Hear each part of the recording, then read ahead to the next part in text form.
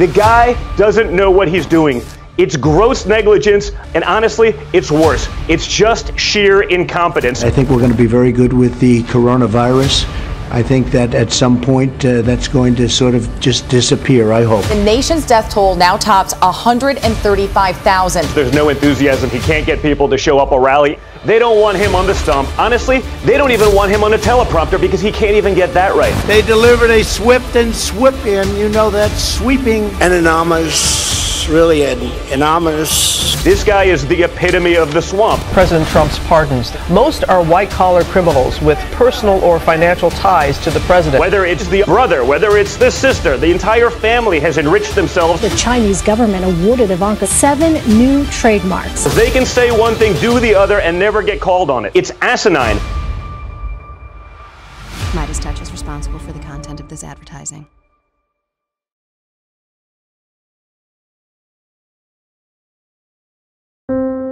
I grew up in the church. I attended a private Christian high school. You look at a way someone lives their life and you believe them. Grab them by the pussy. You're a star. They let you do it. I was taught the principle that we should love our neighbors as ourselves. When he used force to clear Lafayette Park and to stand in front of St. John's to bludgeon and gas peaceful protesters for a ridiculous photo op. The moment that he held up that Bible, he revealed this president is using us. Christians have to resist being used to justify things that Jesus would never justify. Very fine people on both sides. Love is patient, love is kind, love does not boast. I am the chosen one. Love does not delight in evil, but rejoices with the truth. What's going on now is wrong. And as a Republican, as a Christian, we simply cannot allow this man to be reelected. This Tuesday night, the explosive new book by President Trump's niece, Mary Trump. Several details already being reported tonight. And what ABC News has learned is in the book. Here's our chief White House correspondent, Jonathan Karl. She is the president's niece, the first member of his family to publicly turn against him. Mary Trump unloads in a new book the Trump family tried to stop. Too much and never enough. How my family created the world's most dangerous man. Mr. President, any, any reaction to your niece's book? Uh, any, any reaction to Mary Trump's book, sir? Mary Trump describes the president's father, Fred Trump, as a high functioning sociopath who short circuited Donald's ability to develop and experience the entire spectrum of human emotion. Ms. Trump, a trained psychologist, claims the president's father perverted his son's perception of the world and damaged his ability to live in it. Donald is not simply weak, she writes. His ego is a fragile thing that must be bolstered every moment because he knows deep down that he is nothing of what he claims to be.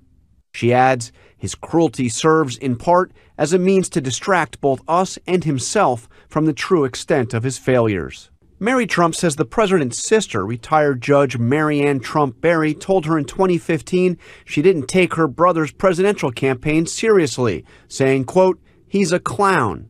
The White House today is hitting back. It's ridiculous, absurd allegations that have absolute no bearing in truth.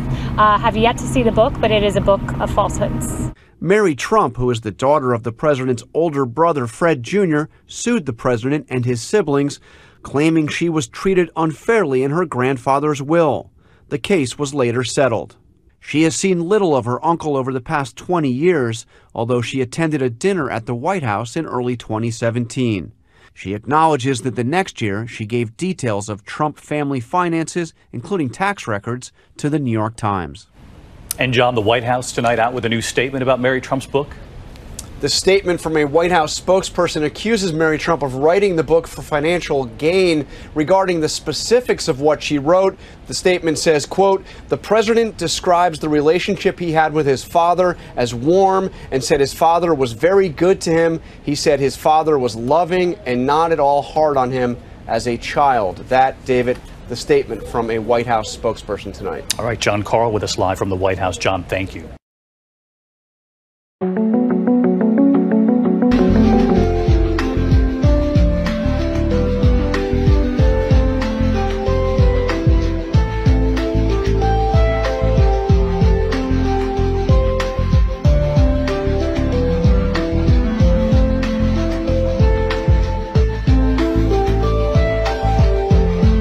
2017. I'm going to end where I began. Sure. You go, you see the president Mhm. in the Oval Office, and you say, tell him, "Don't let them get you down." Did you mean that? I did, actually. Um, he, that was four months in.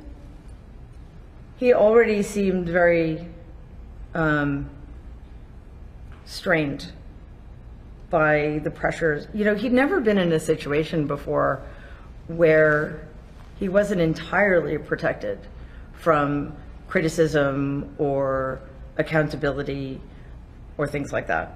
Um, and I think, you know, Michael Flynn had just had to be fired. And from the get go, it hadn't been going well in particular. Um, so I, I did mean it um, in some sense. You know, I didn't mean I want you to keep doing what you're doing and get away with it. But, um, and also, so much of what has happened since then hadn't yet happened.